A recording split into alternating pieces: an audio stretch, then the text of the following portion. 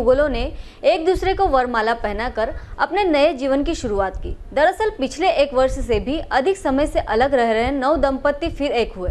बताया जा रहा है कि महिला सब इंस्पेक्टर बेटमा रोशनी जैन की कोशिश के बाद वर्षापति गोविंद उम्र 20 वर्ष, निवासी बिल्लोद व गोविंद पिता देवकरण उम्र 24 वर्ष, निवासी बिल्लोद जो पिछले एक वर्ष से पारिवारिक विवादों के चलते अलग अलग रह रहे थे। समझाइश के बाद फिर से अपना जीवन एक साथ बिताने को तैयार हो गए।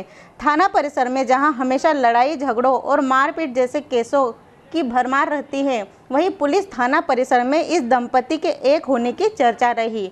वहीं दोनों युगलों ने एक दूसरे को वरमाला पहनाकर फिर से पुरानी बातों को भुलाकर एक नए जीवन की शुरुआत की। वहीं अब दोनों ने एक दूसरे पर भरोसा जताकर थाने के वरिष्ठ अफसरों के पैर छूकर आशीर्वाद लिया। इस अवसर पर एक हुए दंपति के परिजन भी मौजूद रहे जो थाने से वरमाला पहनकर निकल रहे इन युगलों को देखकर खुश हो रहे थे।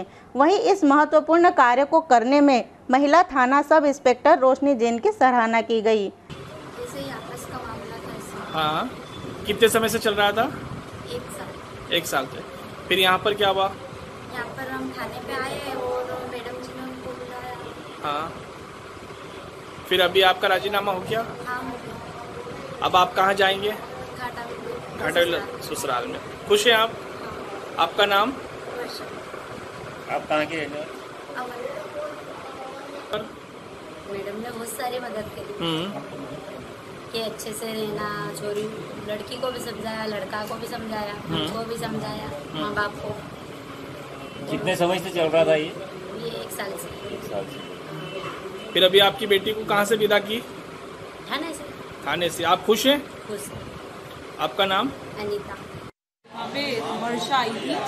वर्षा पति गोविंद जाते भील निवासी बिल्लोद की आई थी। उसने बोला कि मैं परेशान है बहुत दिनों से अपने पति से अलग रह रही है क्योंकि उसका लड़ाई झगड़ा हो गया था उसके पति से।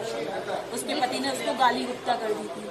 फिर मैंने उसके ससुराल वालों को उसके पति को बुलाया और उनको समझाई थी कि अपने वैवाहिक जीवन में छोटी छोटी लड़ाइयों की वजह से अपना घर ना तोड़ें।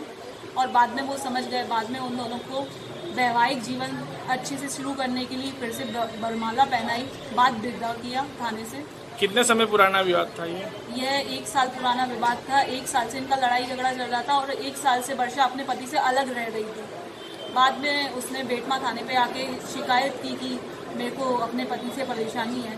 इसलिए फिर हमने वैवाहिक पति पत्नी का विवाद का सोचकर उसके पति को बुलाया और समझाई बेटमा से राजेंद्र सूर्यवंशी की रिपोर्ट।